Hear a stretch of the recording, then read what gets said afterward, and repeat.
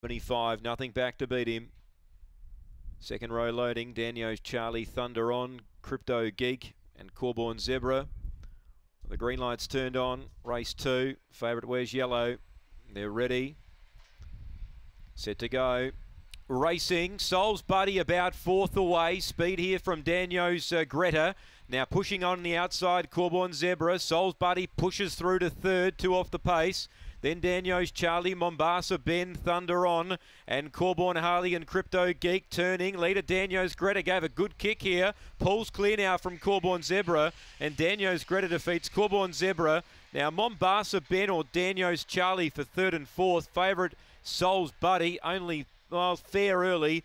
Uh, found a bit of bother, then charged on late. Thunder on towards the rear.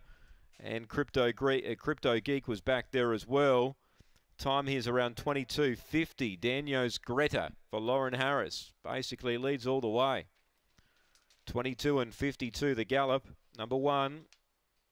Sped up early, kept the rail, kept going well. Corborn Zebra's got second, number eight. 10 Mombasa Ben will arrive in time to get third. And fourth placing will be number two, Daniel's Charlie, I feel. Yep, 1 8 10 2 confirmed. So the favourite misses.